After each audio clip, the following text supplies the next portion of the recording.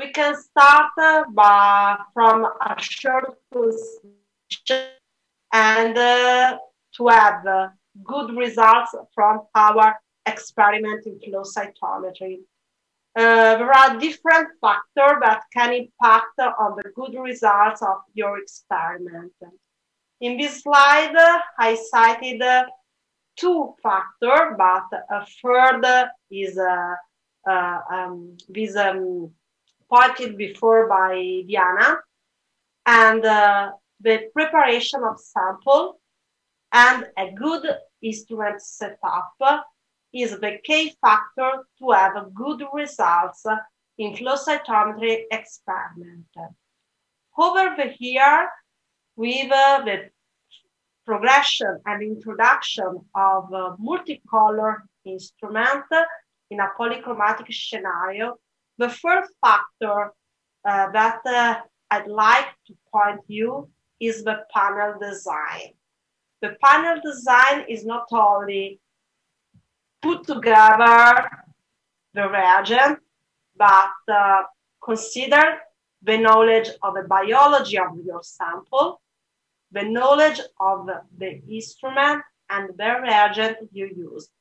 So all these three factors is very, very important to define and to obtain good results from your flow cytometry experiment. In this uh, talk, my attention is um, is um, is pointed on instrument setup. So in the next slides, I cover the main uh, step in uh, instrument setup uh, for flow cytometry experiment. First, I want to add another uh, consideration about the instrumental performance. It's important to check sometimes every day, depends on what you are doing, the good performance of your instrument. And for example, from uh, uh, inside the the, the series of BD instrument, all our platform included CS&T system. What is it?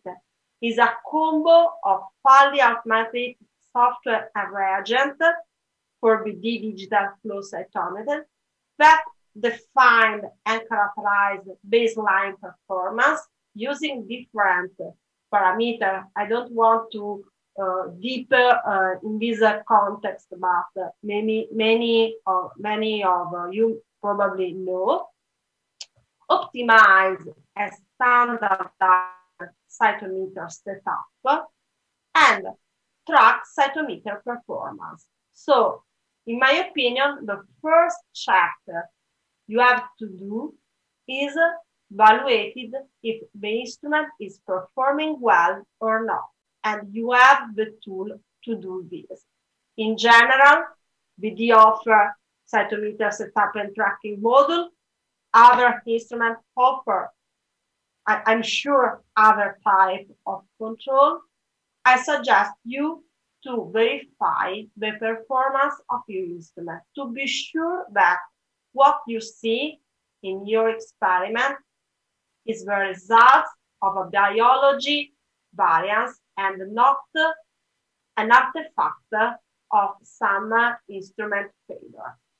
So the next consideration is that any instrument setup for multicolor experiment from 2 to 20 or actually to 50 and more const of two main steps. The first step is the choice of PMT voltage for scattering and fluorescence parameter. The second step is the calculation of compensation. Well, starting uh, what we have to prepare to sit down uh, beside uh, in front of our flow cytometer, we have uh, to have and a stain control sample, our blank cells, to evaluate the autofluorescence of cells. Keep in mind, in, flow, in a flow cytometry, we want to see the autofluorescence of the cell. Is our cell. Then I want to keep with me a single stain control sample, one for any color I use in my panel. And this uh, series, uh, series is useful to calculate compensation. Finally, but not least important, last but not least, as uh, English said, the control for multicolor stain sample. You can use a full min minus one control and full color sample to verify that the staining is performing as expected. Well, starting from regulating voltage, we can use the unstained sample and adjust forward and side scatter parameter to individuate the population of interest. This picture is showed before, is a, a typical um, peripheral lysis peripheral blood from human. And the first consideration is to find the correct uh, value of side and forward to individuate for example, lymphocyte, monocyte, and granulocyte. So this is the first step. When I see my sample, I can select one population of interest inside this type of sample. The next step is regulate the voltage in order to have the best setting. Actually, there are a lot of uh, uh, different inputs in this sense, but uh, a very basic and general rule we can use is to regulate the PMT voltage in order to have the autofluorescence of the cells in the first quartile of my plot. This is a very, very general rule and it is uh, used in a middle, low, middle parameter, multi-parameter scenario. And for example, I'm working with or uh, in a six color setup. This is the readout we have using all six colors.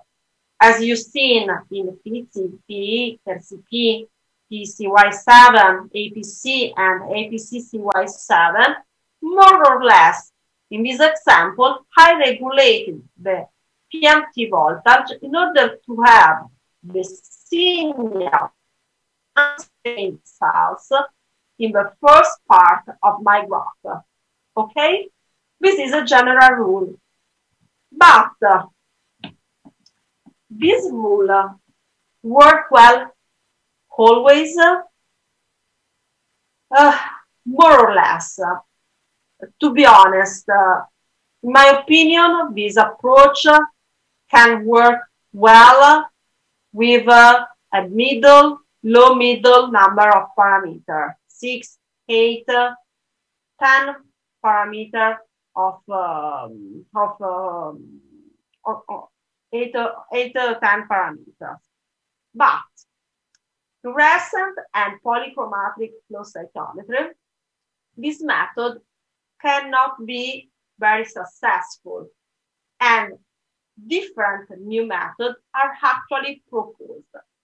In the next slide, I report for you just to an input to have a lecture for for a good night. Some very important paper as reference deriving from the school of Stephen Perfetto and Mario Roederer, for example, or inside deriving from the work of uh, BD researcher. So we have different methods. Finally, for example, uh, if uh, some of you are working on a multicolor instrument from celesta to Fortessa or symphony, maybe is already uh, reached by a different approach that is named voltration. What is it, the voltration method? The voltration method is a process to adjust voltage for any channel in order to, to have the hot of a negative and positive population. This method is based on the measure of a staining index. What is it, the staining index? Consider the plot I indicating you is a typical CD4 staining in BV 510 or in another uh, dyes uh, you have. And you, in this staining, you can um, you can individuate a negative population and a positive. The stain index is the difference between the mean flourish intensity of positive minus the mean flourish intensity of negative, uh, fracted the standard deviation of a negative population. This index uh, include in itself different factors that depend from the voltage we choose, but also from the nature of the dye and obviously of the antigen I can choose. But in general, when we propose this method, we use CD4 as a standard, standard uh, antigen. And what we do? We do a scan for any parameter of all the PMT voltage, starting from more or less 250 until the out of scale. And then we put, uh, we put in a graph the PMT voltage versus the stain index. The PMT voltage optimal will be the point after uh, which the stain index no, not, doesn't increase more. This is a method. It's only, I, I, I am aware that is uh, not so easy, but uh, just to um, pawn, just to underline two different approaches. The basic rule that is always a gold standard, and uh, we see my autofluorescence signal in the first quartile of my plot. On the other hand, most recent input deriving from BD, researcher, or the school of uh, Stephen Perfetto and the Mario Roederer at NIH in USA. And finally, a different method, maybe you can already view in the lab with a multi-parameter instrument.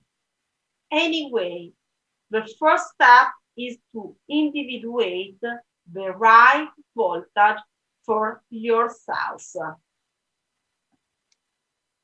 Then the second step of an instrument setting procedure requires the calculation of compensation. First, what is it compensation.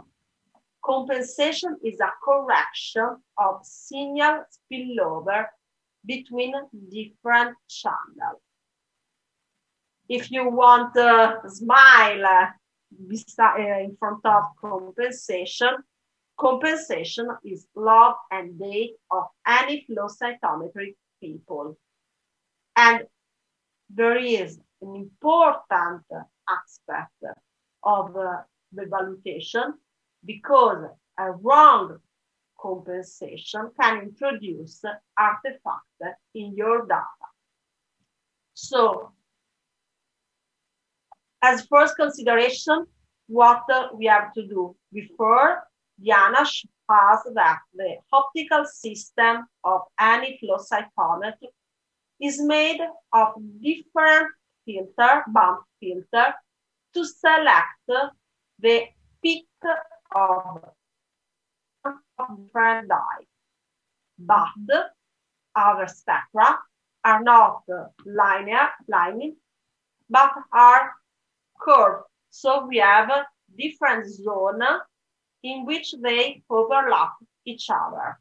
So for example, consider the, the, the, the area from 50, uh, from 500 to 600 nanometer in this cartoon.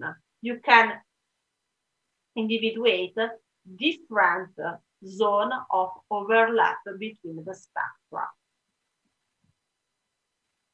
For example, this is a, um, a typical array of uh, a blue laser in a Canto, for example. You have four different color, four different channel with different band filter to collect the specific uh, uh, main fluorescence deriving from each dyes but you can't avoid the spectral overlap. It's physical. So compensation is the correction of this area of overlap. Look this very simplified situation. If I have a sample stained only with FITC dye, I expect to have only FITC, uh, positive salts, and negative, for example, for P or for CPCY 5.5. But when I put my sample under the instrument and look the dot plot, is a double population in the first, in the upper plot, and a middle positive for CP in the bottom. What is it? This is this area, this piece of the spectra of the FITC that overlaps in the Haber band filter. Compensate mean to correct the FITC, uh, sorry, correct the PE and the PCPCY 5.5 signal subtracting a certain percent of signal. So do you have always two choices, FITC minus P or P minus FITC? You are, is, is important to understand and to have in the hands which is the right uh, right lines. When I increase the percent of the FITC subtracted to PE and 30 PCY 5.5 detector, I obtain this type of distribution. If I want to have a mathematical result, if this sample is stained only with FITC, it could be negative both for P, both for PCP. So the population in Q3 and Q4 in the bottom and in the upper plot have the, should have the same mean fluorescence intensity for P and for PCP 5.5.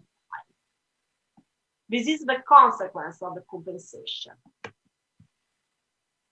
why the compensation is so important and why you can introduce artifact in your data. Look this three dot plot. This is the first one is with correct compensation under too low over compensation too much.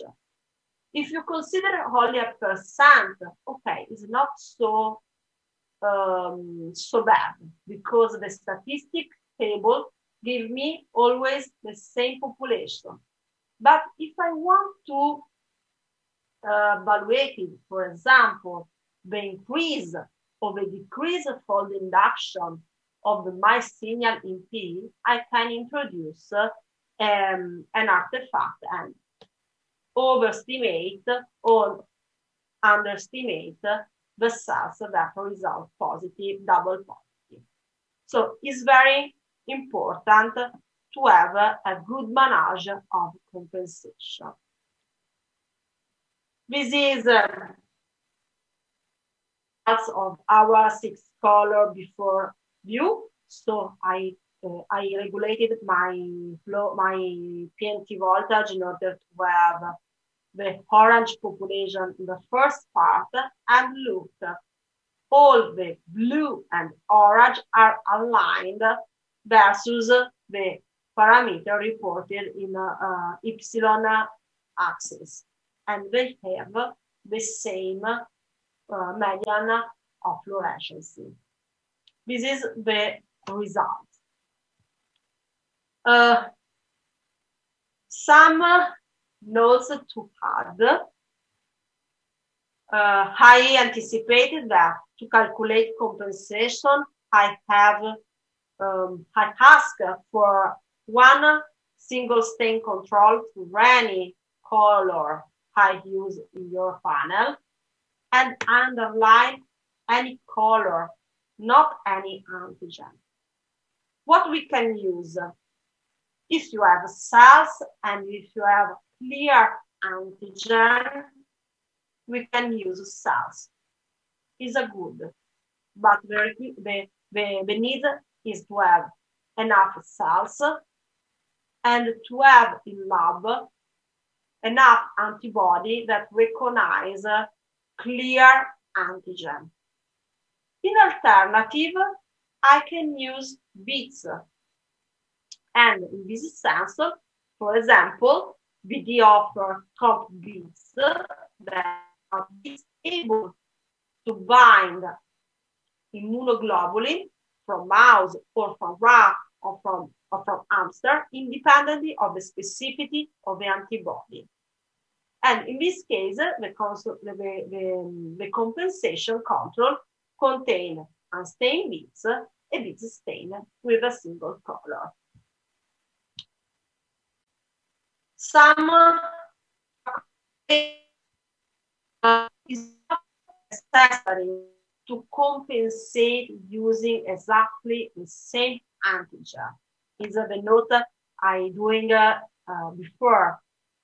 If uh, I have more or less high antigen density antigen in my in my series, okay, I can use, for example, thinking to lymphocyte, CD3, CD4, CD8, I don't use uh, in this very simple panel CD25 or more or less.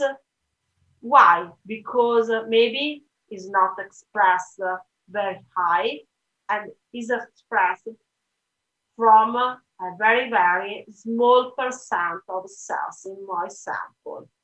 So in general, for example, I can use CD3 and CD4 and CD8, other and other similar lineage marker to create my compensation. The point is not the antigen. The point is the color and the exact match with the color I use to calculate compensation and the color I put in my mix in the final sample is uh, not always uh, uh, very appreciated, but also a Pixie and an Alexa 488 is different. In this case, the difference is not so big, but for example, if I use Pixie or Brilliant View 515, they are very different to fluorochrome for brightness and the results could be different. So keep in mind just uh, from you.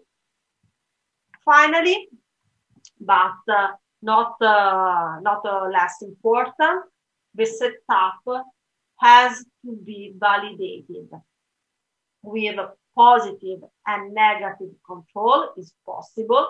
So, for example, if I have performing a live and dead or an apoptosis say, it's always recommended to have inside my sample the negative control live and the positive control, a sample that I push to die. Or in other contexts, if I'm looking for cytokine production, either unstimulated and stimulated with, I don't know, chemical uh, inducer, PMA and ionomycin, or other substance you can use.